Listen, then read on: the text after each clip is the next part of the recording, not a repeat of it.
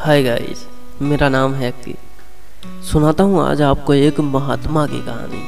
एक महात्मा अपने शिष्यों के साथ नदी में स्नान करने गए।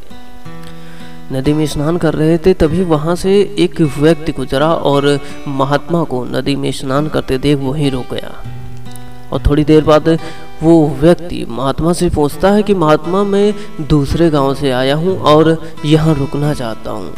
क्या आप मुझे बता सकते हैं कि इस गाँव के जो लोग हैं, वो कैसे हैं? तो महात्मा जी कहते हैं कि मैं आपके सवाल का जवाब ज़रूर दूँगा। लेकिन मैं तुमसे पूछना चाहता हूँ कि तुम जहाँ से आए हो, वहाँ के लोग कैसे थे?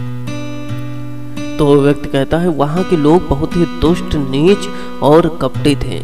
इसीलिए मैं वहाँ से छोड़ के कहीं और रहने के लिए आया और यहाँ पे जब आपको देखा तो आपसे पूछने लगा कि यहाँ के लोग कैसे हैं। तो महात्मा बोलते हैं कि यहाँ के लोग भी ऐसे ही हैं, दुष्ट, नीच और कपटे। यह सुनकर वह व्यक्ति वहाँ से चला जाता है।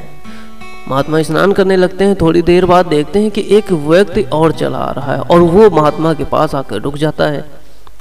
वो भी महात्मा से पूछता है और कहता है, महात्मा, मैं आपसे पूछना चाहता हूँ कि यहाँ के लोग कैसे हैं? क्योंकि मैं दूसरे देश से आया हूँ और यहाँ भी रुकना चाहता हूँ।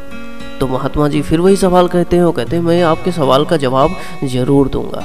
लेकिन मैं पहले पूछना चाहता हूँ कि तुम जहाँ से आए हो, वहाँ के लोग कैसे थे? तो व्यक्ति कहता है, वहाँ के लोग बहुत ही अच्छे नेक दिल इंसान थे। लेकिन मेरी कंपनी ने मुझे यहाँ भेज दिया, मुझे मजबूरियों में यहाँ आना पड़ा।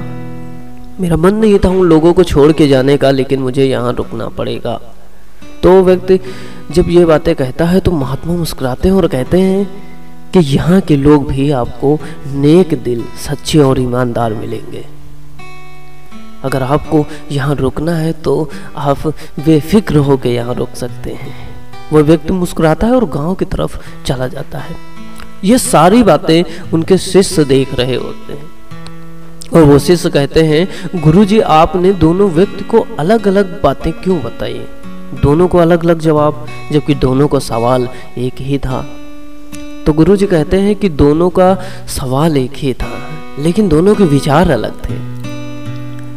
इंसान जिस नज़रिए से देखता है, उसे वहाँ वैसे ही लोग मिलते हैं। जो पहले वाला इंसान था, उसे लोग इसलिए कपड़े दिखाई दे रहे थे, इसलिए नीच दिखाई दे रहे थे, क्योंकि उसके मन में यही था। और जो दूसरा इंसान था वो अंदर से बहुत ही नेक दिल इंसान था।